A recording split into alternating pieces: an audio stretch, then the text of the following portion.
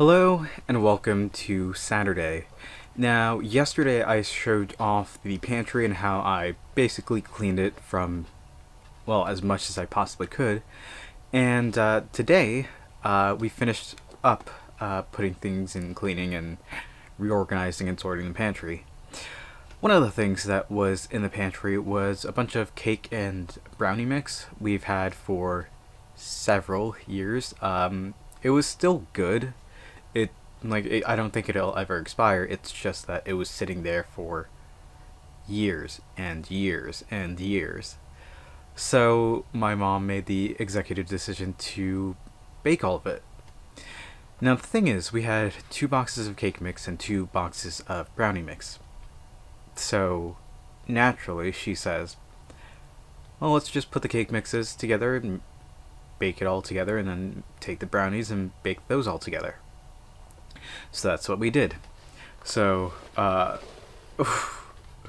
we used about like a dozen eggs and a little bit of oil, some water, and uh, now we have not one, but two of these little trays filled with cake. And uh, there, there was a third that got given away, but along with that, we also have uh, this container filled with brownies. And there's still some, like a small container filled with more stuff, but uh, downstairs. But you know, we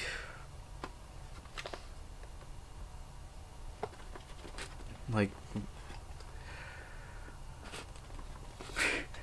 we have a lot of cake and brownies now. Um, yeah, so I I don't know how we're gonna eat all of this. This might just be my meals for the next couple of days, which is not ideal. But hey, we're gonna power through it. I it's truly gonna be suffering eating just cake and brownies.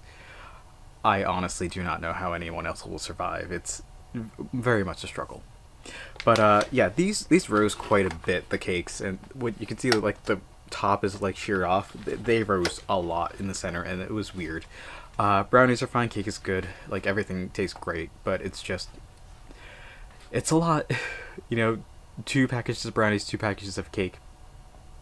We got to figure out a way to like eat these that's not extremely unhealthy, but considering that these are just mostly sugar and flour, um, yeah, it doesn't seem likely. Uh, yeah, this took up the bulk of the morning trying to like clean the pantry and put these away, and and cook these out.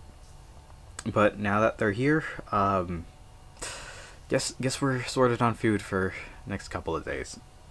It'd be a nice break from eating anything else, I guess. But it is what it is. Um, with that said, I think I'm just gonna call it here for today. Keep things rather short. So, thank you all for watching. I hope to see you tomorrow.